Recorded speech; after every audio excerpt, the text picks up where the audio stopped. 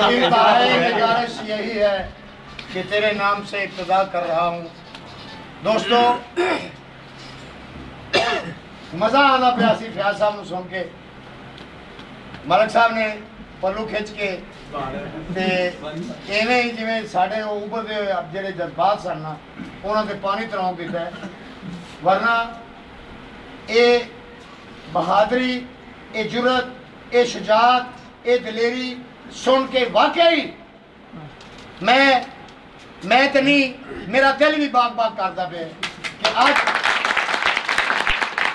ਅੱਜ ਮੇਰਾ ਉਹ ਕਿਸਾਨ ਜਿਹੜਾ ਦਫ਼ਤਰ ਦੀ ਨੁੱਕਰ ਵਿੱਚ ਜਾ ਕੇ ਲੱਗ ਕੇ ਇੱਕ ਬਿੱਲ ਠੀਕ ਕਰਾਉਣ ਵਾਸਤੇ ਹੱਥੋਂ ਰਿਸ਼ਵਤ ਦਿੰਦਾ ਸੀ ਤੇ ਐਵੇਂ ਖੜਾ ਹੁੰਦਾ ਸੀ, ਜਿਵੇਂ ਭਿਖਾਰੀ ਖੜਾ ਹੁੰਦਾ ਹੈ। ਅੱਜ ਮੇਰਾ ਉਹ ਕਿਸਾਨ, ਉਹਨੂੰ ਕਿਸਾਨ ਇਤਿਹਾਦ ਨੇ, ਇਹਨਾਂ ਕੋਈ ਇਤਮਾਦ ਦੇ ਦਿੱਤਾ ਹੈ।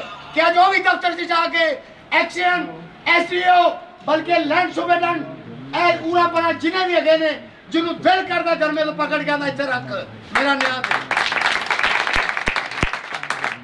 ਦੁੱਖਾਂ ਦੀ ਗੱਲ ਕਰਦੇ ਨੇ ਗੱਲਾਂ ਬੜੀਆਂ ਦੂਰ ਦੀਆਂ ਨੇ ਅੱਖ ਖੋਲੀ ਤੇ ਦੁੱਖਾਂ ਦੇ ਜਾਲ ਵੇਖੇ ਅੱਖ ਖੋਲੀ ਤੇ ਦੁੱਖਾਂ ਦੇ ਜਾਲ ਵੇਖੇ ਉਤੋਂ ਅਣਦੇ ਜਿੰਦੜੀ ਨਾਲ ਵੇਖੇ 47 ਤੋਂ ਲੈ ਕੇ ਹੁਣ ਤੱਕ ਇਹ ਸਾਰਾ ਕੁਝ ਅਸੀਂ ਵੇਖੀ ਆਨੇ ਆ ਅੱਖ ਖੋਲੀ ਤੇ ਦੁੱਖਾਂ ਦੇ ਜਾਲ ਵੇਖੇ, ਉਤੋਂ ਹੰਡ ਦੇ ਜਿੰਦੜੀ ਨਾਲ ਵੇਖੇ, ਇੱਕ ਦਿਨ ਸੀ, ਇਜਰ ਦੇ ਸਾਲ ਵਰਗਾ, ਅਸੀਂ ਦਿਨ ਨਹੀਂ, ਸਾਲਾਂ ਦੇ ਸਾਲ ਵੇਖੇ। ਅਸੀਂ ਨੱਚਿਆ, ਜੱਗ ਦੇ ਸੁੱਖ ਪਿੱਛੇ, ਸਦੋ ਬੁੱਲੇ ਨੂੰ ਸਾਡੀ ਧਮਾਲ ਵੇਖੇ। ਤੂੰ ਕੀੜੇ 'ਚ ਤੂੰ ਪੱਥਰ 'ਚ ਕੀੜੇ ਦੀ ਸੋਚ ਰੱਬਾ? ਅਸੀਂ ਭੁੱਖਾਂ ਤੋਂ ਵਿਕਦੇ ਬਾਲ ਵੇਖੇ। ਤੂੰ ਪੱਥਰ 'ਚ ਕੀੜੇ ਦੀ ਸੋਚ ਰੱਬਾ?